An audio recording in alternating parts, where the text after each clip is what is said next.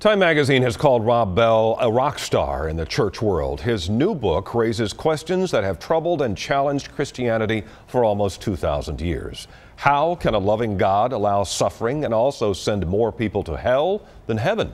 Some religious leaders and hundreds of churches have labeled Love Wins as heresy and accused the Michigan megachurch pastor of teaching universalism, the belief that everybody is saved from final judgment.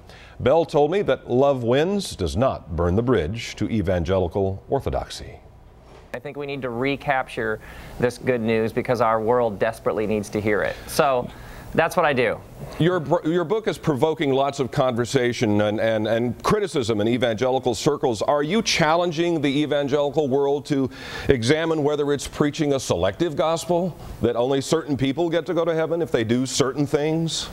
Well, first off, what I'm trying to do in the book is take people through what the Bible actually says and then what it doesn't, doesn't say so that at least we can have some common ground on where Jesus is coming from. And for Jesus, the fundamental issue is this world right here and right now.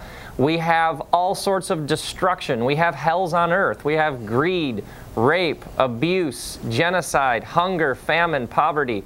And Jesus is calling people who will take action and who will trust that God is good and loving and do something about our suffering, broken world right now. So well, let's, let's talk about the suffering, broken world. The tsunami yes. in Japan, most yes. recent example. Uh, some yes. people say, well, where was a loving God in that? Yeah, and people have struggled. Mm-hmm. Uh, first off, we have struggled for thousands of years with God's power and God's compassion and love, and then the exercise of that power, or in the face of a tsunami, the, the lack of exercise of that power. So, so that has been a struggle to understand for thousands of years. The, the, the, the important thing, and reason why I wrote the book, is that whenever somebody dies, at the heart of Jesus' message was that God is a good, loving God, and that we can trust that God is both just and merciful, and we are not the judge of who goes where and when. A few years ago, Billy Graham said that he could not speculate on the ultimate destiny yes. of Jews and Muslims, Buddhists, Hindus, and non-churchgoers, yes. the non-people that you and your business want to reach out to. But he was confident that Jesus was the only way that they could go to heaven. Are you and Mr. Graham on the same page? Mr. Yeah, I think you're referring to the August 14th, 2006 uh-huh. issue of Newsweek magazine. Yes, right. I read the same quote.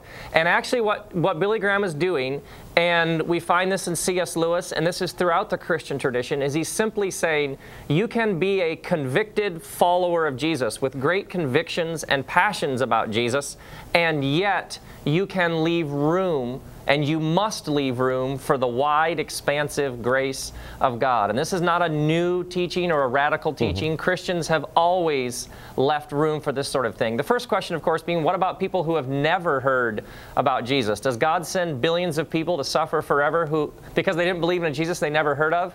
And that just that is goes against everything that Jesus said God is like. And so, yes, I'm right with Billy Graham on that. He's a, he's a good one to be with.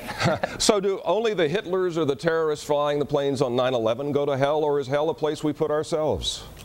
I think your second answer fits very strongly and correctly with Jesus' teaching. Anytime we reject the good, the true, the decent, any way that God expresses God's love to us, anytime we reject this, we have created a hell on earth right now, in essence. And almost uh, the image that Jesus uses is of this banquet, a feast, an epic celebration. Everybody's invited. And yet, the very nature of love is that there's freedom. You don't have to come. You, you can reject the invitation, but you rejected it. God extended it. Rob Bell told a Nashville church last week after this interview was taped that the backlash from other churches about his bestseller has been painful. He says he wrote the book because the gospel of love seems to have been forgotten.